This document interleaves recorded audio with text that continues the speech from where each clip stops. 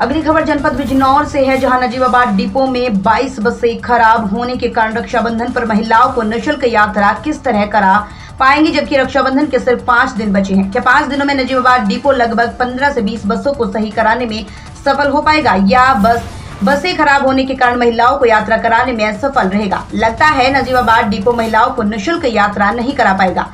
बसें खराब होने के कारण नजीबाबाद डिपो में महिलाओं की उमड़ी भीड़ लगने का कारण बन सकता है। साथ ही साथ, संविदा कर्मचारी परिवहन चालकों का कहना है, हम बेरोजगार हो गए हैं। परिवहन चालकों का कहना है, हम आए दिन एक सौ रुपए की अपनी गाड़ी में तेल लगा कर आते हैं, लेकिन हमें रोज़गार नहीं मिलता। जब नजीबाबाद डिपो अधिकारी से वार्तालाप करते हैं तो वो हमें गाड़ी खराब होने का हवाला देकर मना करते हैं।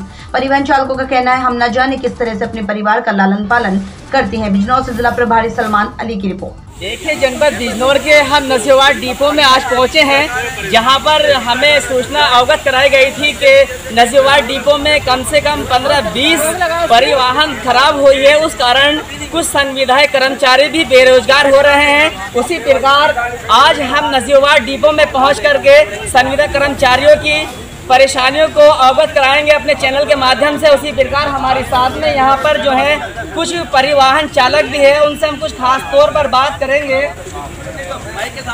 जैसा कि यहाँ पर हमारे साथ में परिवहन चालक हैं, उनसे हम कुछ बात करना चाहेंगे। जैसा कि सर नजीबाबाद डिपो में हमें सूचना मिली थी कि पंद्रह बीस गाड़ियाँ खराब हैं और आगे रक्षाबंधन का त्यौहार भी है। और मुख्यमंत्री एवं प्रधानमंत्री जनता से, भारतवासियों से अपील कर रहे हैं कि सभी महिलाओं को फ्री सेवा यात्रा कराई जाएगी। इसके बारे में नजीबाबाद डिपो क्या इसको देने में सफल रहेगा यात्रियों को?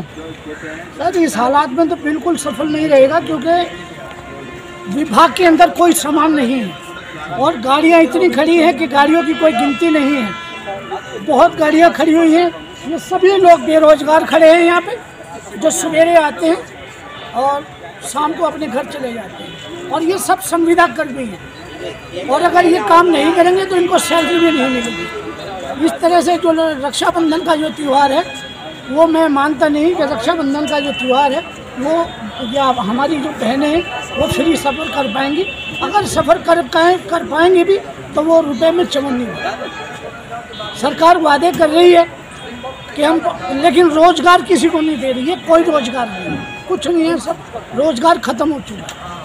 देखिए, इनसे हमने परिवहन चालक से बातचीत की है। इन्होंने कहा है कि मुख्यमंत्री एवं प्रधानमंत्री प्रयास कर रहे हैं, लेकिन वे इस महिलाओं को यात्रा फ्री कराने में सफल नहीं हो पाएँगे, क्योंकि नजीबाबाद डिपो की कंडीशन ऐसी है कि मैं अपने कैमरामैन से कहूँगा कि जितनी भी गाड़ियाँ खड़ी हुई हैं, एक नज़र उनको भी दिखाएँ, जो कि प्रधानमंत्री एवं मुख्यमंत्री को इन गाड़ियों से अवगत कराया जाए और रक्षाबंधन के त्यौहार पे महिलाओं को यात्रा सफरी यात्रा कराने में सफल बनाया जाए और भी हमारे साथ में यहाँ पर परिचालक है, उनसे भी हम कुछ बात करना चाहेंगे, जो कि संविदा कर्मचारी अपने न जाने किस तरह से लॉकडाउन के चलते हुए परेशान होकर के अपनी मजबूरियों से रोज़गार से परेशान हो रहे हैं। वहीं पर नसीबाबाद डिपो का ये हाल है कि संविदा कर्मचारी अपने बारह बारह हज़ार रुपए अपनी जेब से लगा करके गाड़ियों को चलाने के लिए अपना रोज़गार प्राप्त करने के लिए अपनी जेब से पैसे लगा रहे हैं। उसी प्रकार हमारे साथ में कुछ और भी यहाँ पर कर्मचारी है उनसे बात करेंगे।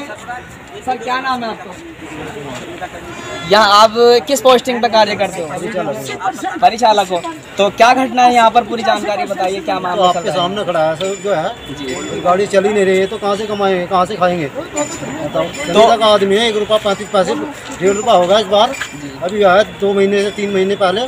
तो बताओ क्या क्या कमाएँगे हम? एक सौ चालीस किलोमीटर दूर मेरा घर है यहाँ से। अच्छा। बताओ मैं कमरा तीन हज़ार रुपये मेरा कमरा है। मेरा खाना भी बाहर से है। सर मेरा हर चीज़ बाहर से बताओ मैं छः हज़ार रुपये में कैसे पूरा निकाल लूँ हमने। अच्छा जो ये समस्या आपकी चल रही है इन्होंने नसीबाबाद डिपो के आला अधिकारी को आपने इस समस्या से अवगत कराया है? ये सबको पता है सभी अधिकारियों को पता है इस बारे में। तो अधिकारी लोग ने लोगों ने आपको कोई, क्या इस पर जवाब दिया? कुछ जवाब नहीं हुआ आज तक। कोई जवाब नहीं है इस पर। तो आप अभी इस समय किस तरह से कार्य को लेकर के चल रहे हैं? हम तो कार्य का आते हैं आज चार दिन हो गए चार दिन सब लोग ड्यूटी मिली आज ड्यूटी मिली जो भी चलेंगे चलेंगे अपना फिर चार दिन पाँच दिन फिर बैठे रहेंगे।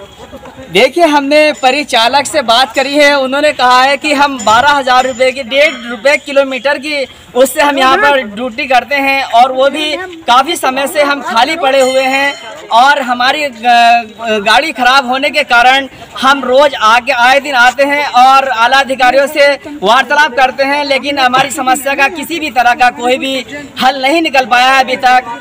तो देखिए नसीबाबाद डिपो की क्या कंडीशन बनी हुई है। हम मानते हैं कि नसीबाबाद डिपो में रक्षाबंधन के त्योहार पर यहाँ से महिलाओं को फ्री यात्रा सफ़र कैसे कर कर पाएँगे?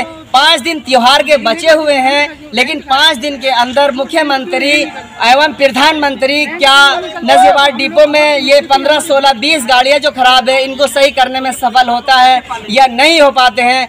अभी अभी हमने एक परिचालक से बात की, उनसे उन्होंने उन्होंने हमें इस पर जवाब दिया कि हमने नजीबाद डिपो के आला अधिकारी को भी अवगत, इस समस्या से अवगत कराया। उन्होंने भी हमें किसी तरह का कोई भी पर जवाब नहीं दिया। मैं आपके साथ दैनिक डेली न्यूज़ चैनल से संवाददाता सलमान अली, कैमरामैन पर्सन लोकेंद्र कुमार के साथ। तो फ़िलहाल की बड़ी खबरों में बस इतना ही, बाकी की तमाम छोटी बड़ी खबरों से जुड़े रहने के लिए देखते रहिए दैनिक दिल्ली न्यूज़। नमस्कार।